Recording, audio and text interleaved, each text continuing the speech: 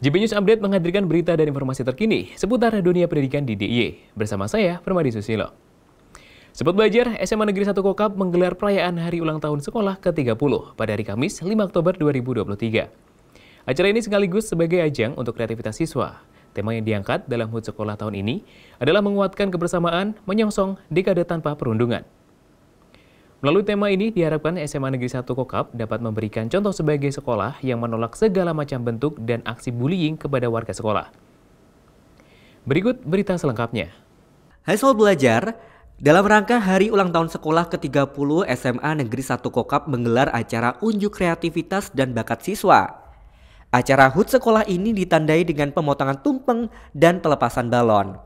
Sobat belajar, kali ini saya bersama dengan Ibu Kepala Sekolah SMA Negeri 1 Kokap. Yuk kita kenalan langsung ya Sobat belajar. Ibu boleh kenalan dengan Sobat belajar? Siap. Saya Florentina Nurwati, Kepala SMA Negeri 1 Kokap. Uh, untuk hari ini ya. 5 Oktober ter, uh, berkaitan dengan HUT SMA Negeri 1 Kokap yang ke-30. Ya. Selamat Ibu. Ibu uh, tak dukungan sendiri sendiri da, kepada sekolahan seperti apa nih sebagai kepala sekolah? Terima kasih. Ini uh, tema untuk HUT kali ini adalah uh, tentang keterkaitan dengan perundungan. Jadi memang uh, sekarang kan baru marak ya adanya perundungan uh, di sekolah ya, begitu dengan teman-teman. Oleh karena itu kita kaitkan. Jadi sebelumnya itu kan ada uh, project P5 itu juga kita mengambil tema perundungan ya. sehingga anak-anak paham apa tuh yang dimaksud dengan perundungan itu kadang-kadang tidak tahu ini uh, suatu guyonan ya gurauan tapi ternyata itu perundungan nah seperti itu. Nah kita ambil itu. Dan kebetulan juga bertepatan dengan HUT yang ke-30 ini. Ya sudah kita tema kita kaitkan begitu kemudian ada pementasan drama yang bertemakan juga perundungan juga kebersamaan uh, supaya antara uh, kami Bapak Ibu guru dan juga dengan siswa itu semakin semakin rekat gitu ya rekat uh, erat hubungannya. Jadi kemarin kami adakan lomba-lomba bersama seperti itu. Biasa Ibu harapannya sendiri seperti apa Bu untuk SMA Negeri 1 Kokap Ibu? Ya, kami berharap semoga SMA Negeri 1 Kokap semakin maju, ya. semakin jaya dan siswanya juga semakin banyak. Amin amin amin. Selamat sekali ya, lagi Ibu. Izin untuk meliput acara hari ini ya. Terima kasih baik sobat belajar. Demikian perbincangan kita bersama dengan Ibu Kepala Sekolah SMA Negeri 1 Kokap. Saksikan terus ya JBTV TV pelajarnya Jogja. Selain itu dimeriahkan pula dengan pertunjukan tarian, vokal grup hingga karawitan dari siswa dan guru. Sobat belajar, kali ini saya bersama dengan Ibu mantan kepala sekolah dari SMA Negeri 1 Kokap. Nah, kita langsung kenalan ya Sobat belajar ya. Halo Ibu, boleh sapa Sobat belajar? Halo Sobat belajar semuanya di mana pun kalian berada. Saya Fipti Retno Nugraheni, mantan kepala sekolah di SMA 1 Kokap periode 2018 sampai 2020. Oke, baik Ibu, tanggapannya terkait acara hari ini seperti apa Bu?